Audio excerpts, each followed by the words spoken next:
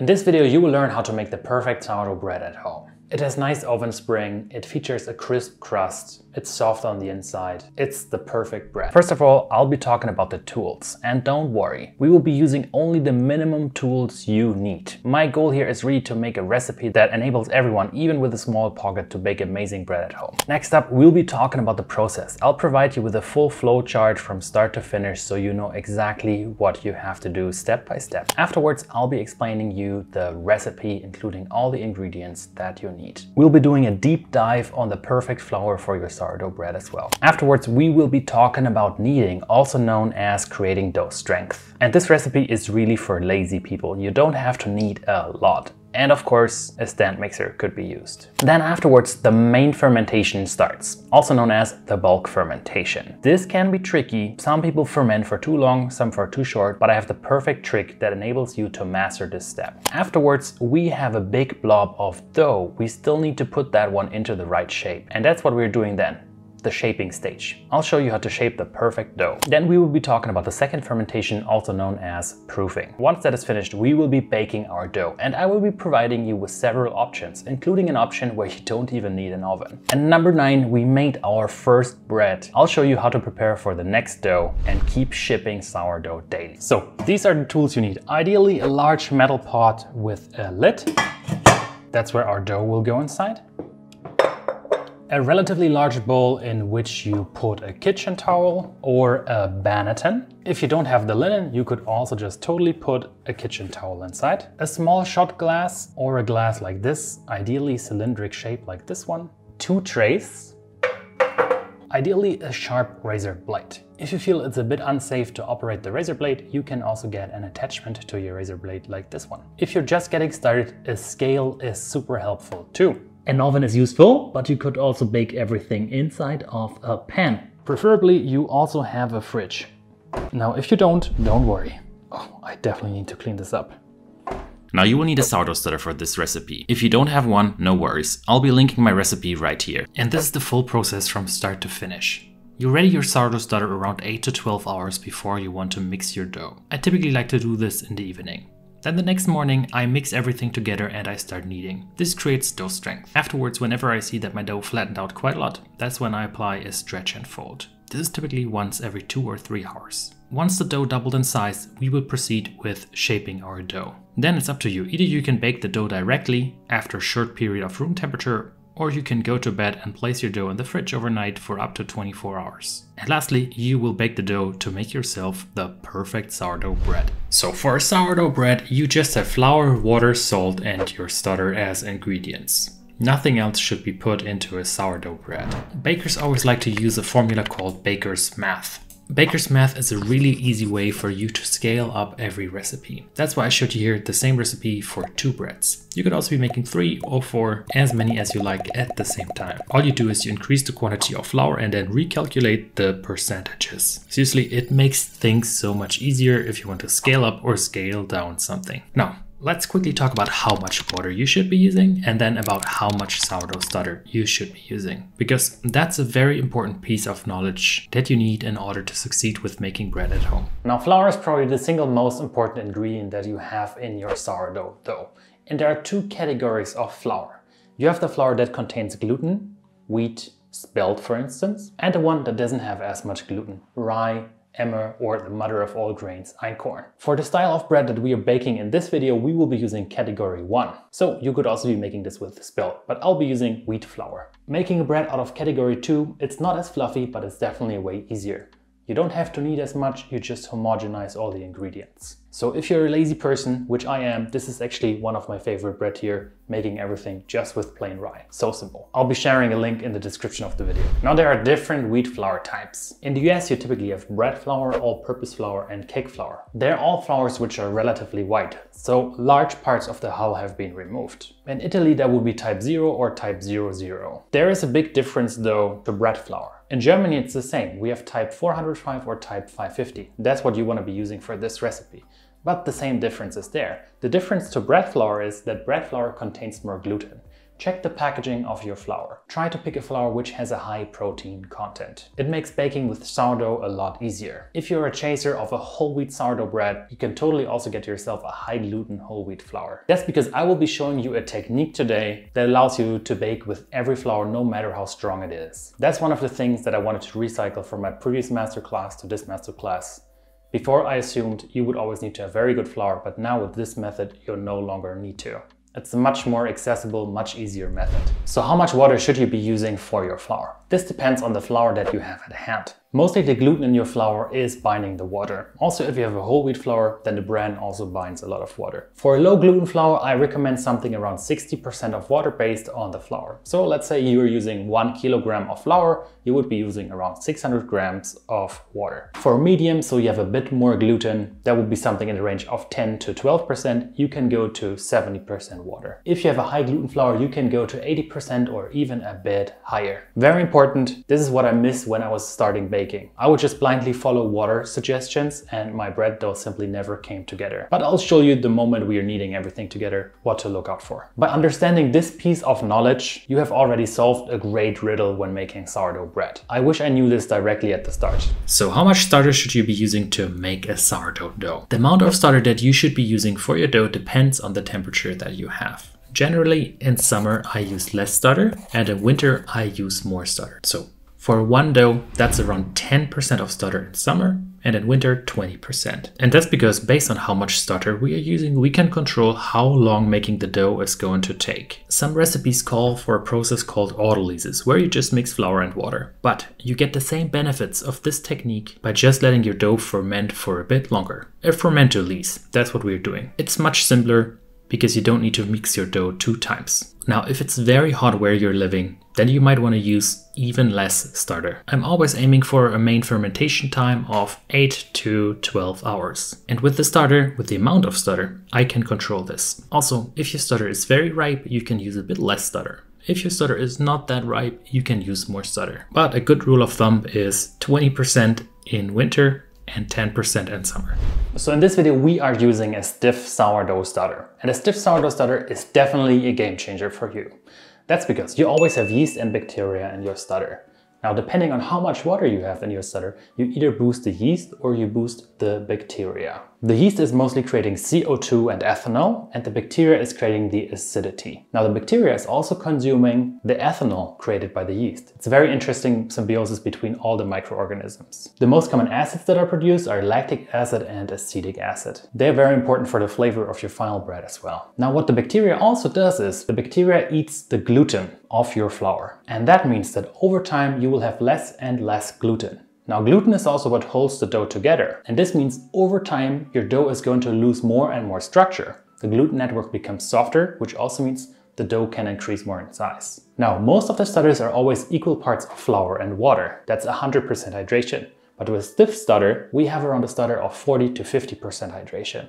And what happens is you have a lot more yeast activity.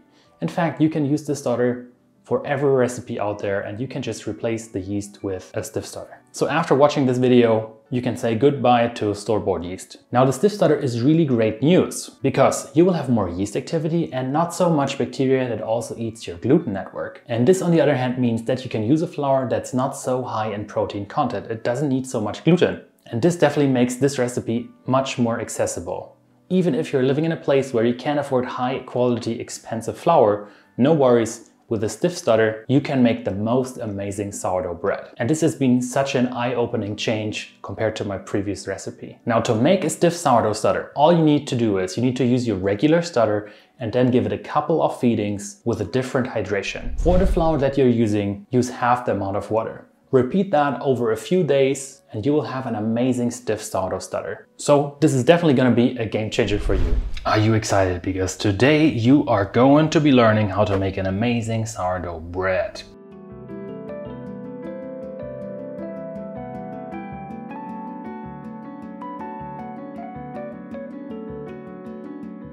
All the ingredients have been added and now we are just going to use our hand to stir everything together. Now you could totally be kneading this in a stand mixer too, but I think if you're just getting started, try making this by hand because it's an eye-opening experience you will understand much better how the dough should feel like. So I challenge you, try to make your first 10 doughs by hand completely. One of the annoying things about the stiff starter is definitely the mixing part, but it just requires a bit more effort in exchange for having an even more awesome sourdough bread in the end.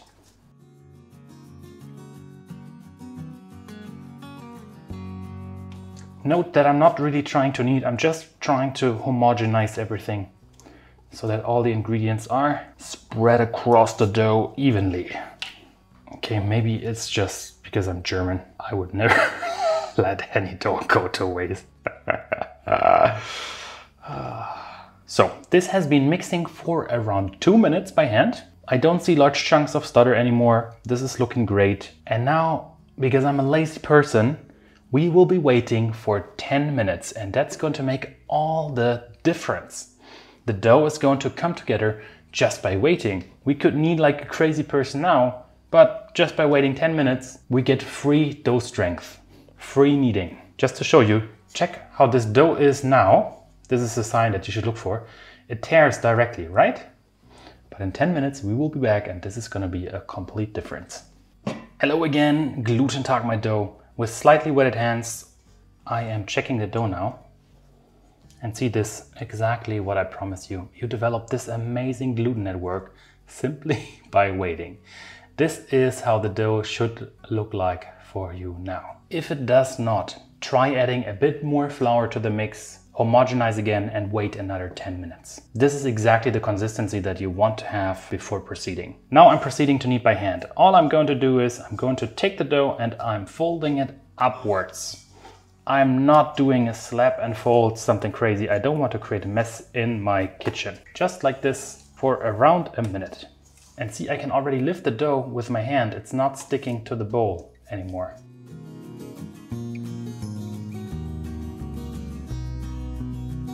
And also note how the dough is resisting when I'm trying to pull it. This is a sign that you have a very elastic dough now and that your gluten network has developed. If you simply can't get this consistency, then you might have the wrong flour. I would suggest to proceed with using a loaf pan for your dough. Just place your dough inside, wait until it has increased a bit in size, and then bake it in your oven.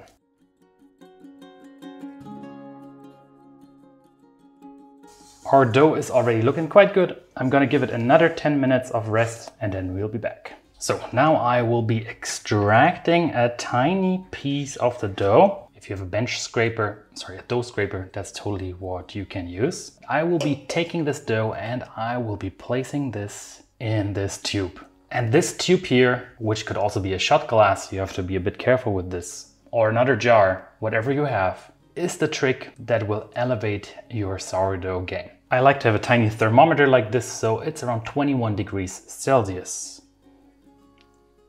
And right now it's very late, almost dinner time in Germany, 11 a.m. And I want this dough to grow here, which I think is gonna happen probably at 9 uh, p.m. Oh, so bad at writing. now again, this depends on so many factors like your temperature, how active your sourdough starter is, and everything. I'm always aiming for around a fermentation period of 8 to 12 hours. So this has to sit directly next to my dough. If the temperature in your kitchen changes a lot during the day, this might not work so well because this heats up faster and cools down faster than your main dough. So keep them close together and you will always be making the perfect sourdough because you have now created a master fermentation probe. Bowl cleaned, now let's transfer our dough back to the bowl. I am going to be wetting my hands a little bit. That makes things so much easier. We need to round up the dough because right now it's this mess. I touch it and it sticks to my hands. This is nothing I want. If we make a nice round smooth surface, the dough is going to be way stickier already. This is a common mistake I see many people doing. So at a around 45 degree angle, I'm pushing into the dough and then I'm pulling it over the surface. Note how the center part here is not moving. You have to be a little bit faster so the dough won't stick. If you have a dough scraper, you will not lose any of your dough over the surface. But I wanted to show you that you can also do it without tools because nobody should be required to buy tools to make amazing bread. That's exactly the kind of dough that you want to have. See, now I'm touching the dough and it's not sticky at all. Try this. This is how your dough should be at this stage. Now I can just take the dough, I wet my hands again a bit, I take it and I gently move it to the other container where it's going to sit. We will close the lid so that it doesn't dry out. So around two hours pass and I see that the dough flattened out quite a lot. This is always when I like to give the dough a stretch and fold.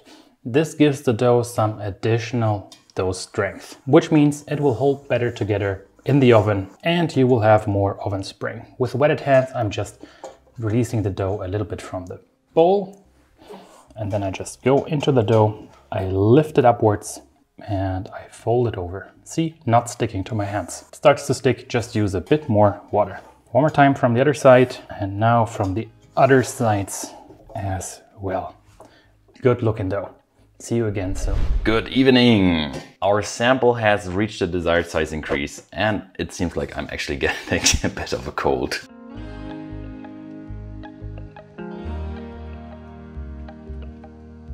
The dough looks really nice. Please check out those pockets of air. This is exactly what you want to have. These are the signs that your fermentation is really perfect. Now we need to proceed and shape the dough. And for this, I'm just going to be sprinkling some flour on our dough. I'm going to be using a banneton like this, but you could also just use a bowl with a kitchen towel inside. That would totally work too. For bannetons, I like to use some which already have a linen inside. That makes things a lot easier. So let's flip over the container and hopefully the dough comes right out.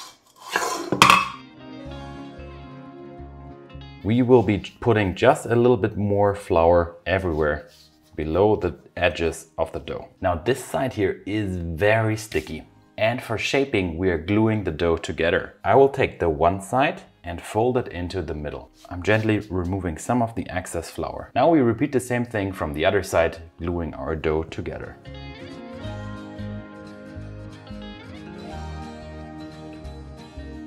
Note how the dough already holds its shape. With floured hands, I'm going to the top of the dough now and we will start to roll it in. I put my thumbs here and I start to roll the dough over.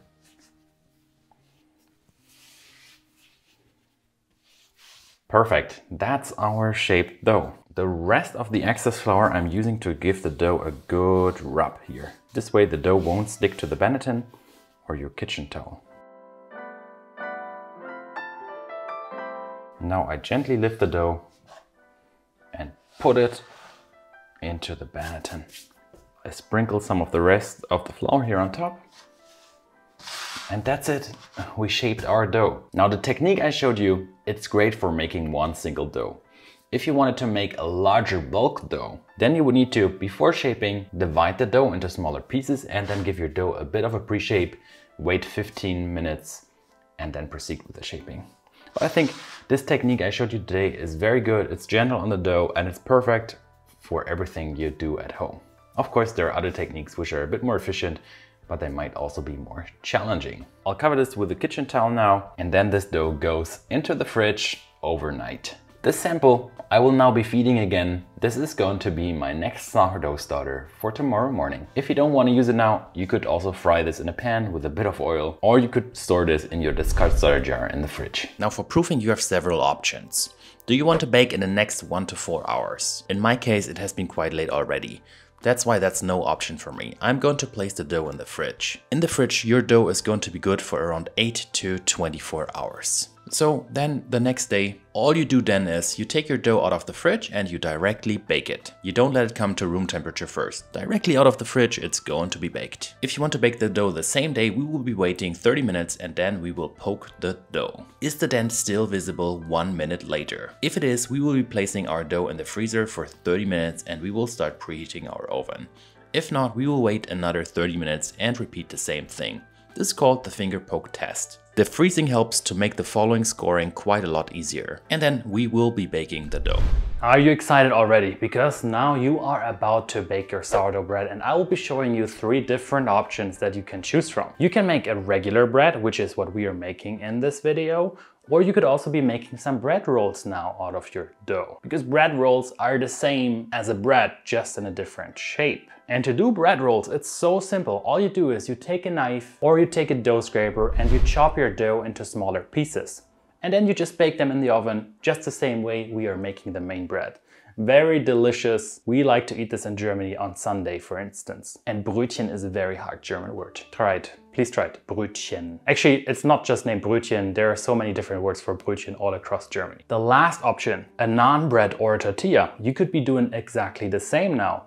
All you do is you cut your brötchen and then afterwards you push that down just a little bit. It's not going to be perfectly round, but still it will be delicious. This way you can bake bread without an oven. Just throw that into a pan and you will have amazing flatbread. Perfect also when you want to do a barbecue, for instance. So these are the options, but we will be focusing on this method in this video for now. Steam is the single most important ingredient to make amazing bread in your home oven. Now the method that I'm showing you here, it's a very simple method that almost everybody can do if you have an oven. All you need is two trays to make the perfect bread pretty much. So you have one tray here at the bottom. This tray will be preheated and you have another tray here at the top. Here, ideally, you have a bowl. It should be something that can withstand temperature changes, maybe something out of steel or a cast iron. You will be pouring boiling water in here just before the bake. So this is preheated, this is also preheated. Once we're placing our dough inside of the oven, we will be adding this tray here on top. And this sort of simulates the Dutch oven. The water starts to evaporate and it's going to circle in here. This keeps the environment nice and moist.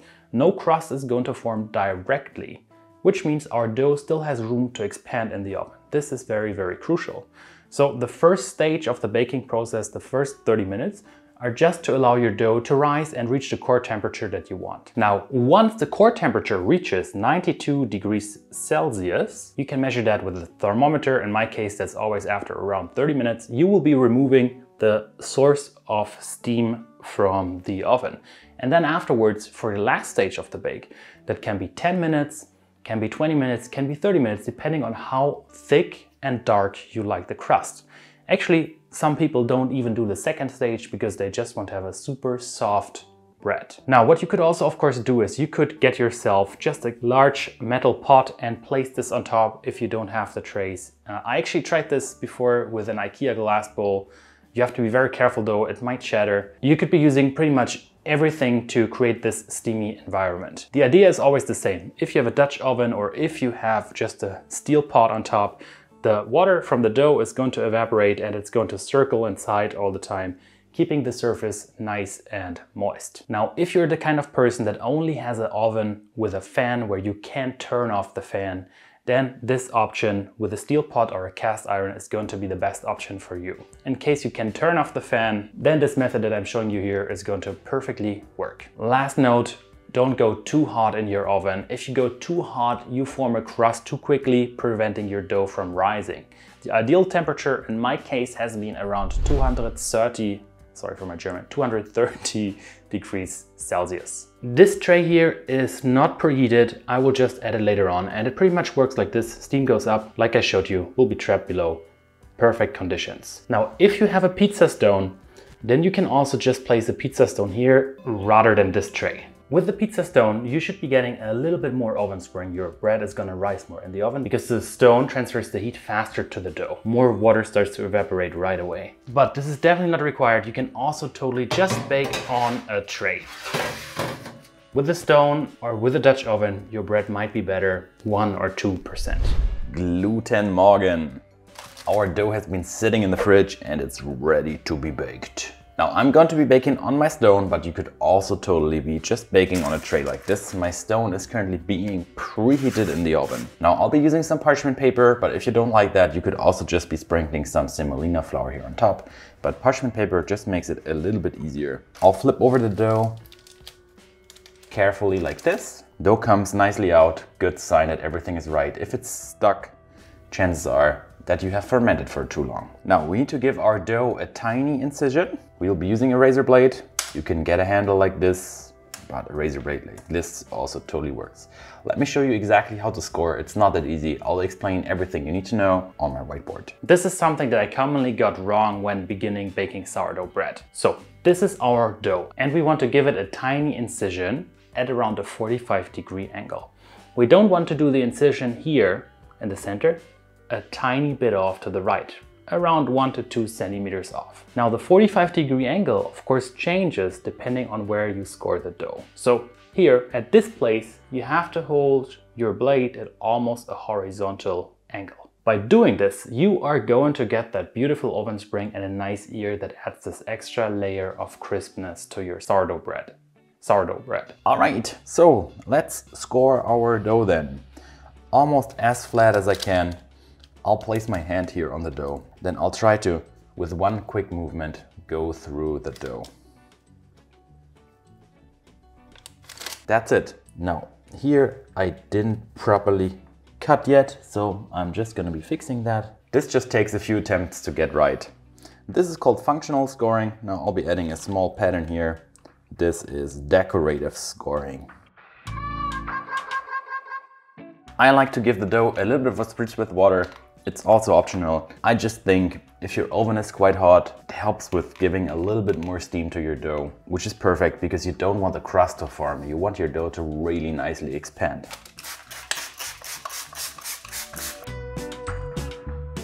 All right, let's load our dough in the oven now. This is where the parchment paper really shines, makes it so easy to transfer the dough. Now this tray into the oven and then our dough. The water. Now after around 30 minutes I will be removing the top tray here and also the rocks here with the water. And ta-da! The final bread. It's looking really nice. Beautiful ear here. Some blisters this pattern looks very nice. From the bottom, we have a bit of a crust. I think this is a really great bread. Personally, some improvement areas, probably during shaping, what you can do is you can tuck together the dough a little bit so it won't look like this on the edge.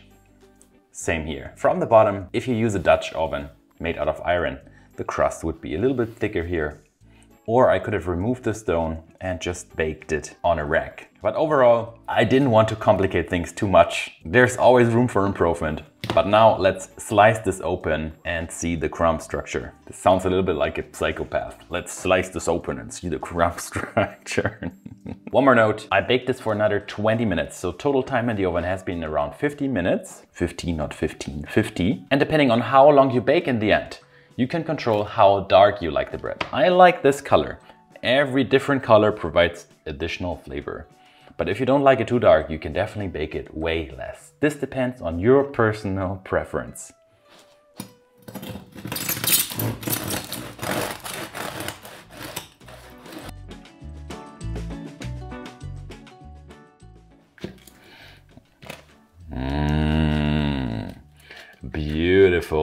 To me, this is the perfect crumb structure. It's open, it's airy, it's not too open. I can put my jam on top of it. We have this nice bunny shape here. This looks really great. Now let's give this a shot if this actually also tastes great. So you can take a slice like this, but sometimes if I know I'm gonna inhale the bread, I also just like to take a slice like this.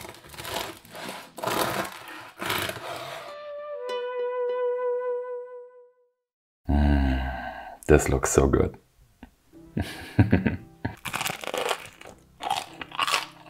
Mm. Mm-hmm. Wow. It's crisp. It's soft. It has the slight acidity, this tang. It's mild, it's not too strong. This definitely is the perfect sourdough bread. I'm gonna finish all of this now. So now you just made your first bread, but chances are it might not have exactly worked out the way you wanted. Here are a couple of different crumb structures I wanted to show you so that you can debug what might have gone wrong on your bread. If your bread went perfect, congratulations, well done. So This to me is the perfect crumb. You have different pockets of air spread all across evenly throughout the bread and your bread has nicely risen in the oven. Now, under fermented or underproofed, I prefer to use the term under fermented is when you have very, very large, gigantic pockets of air inside of your dough.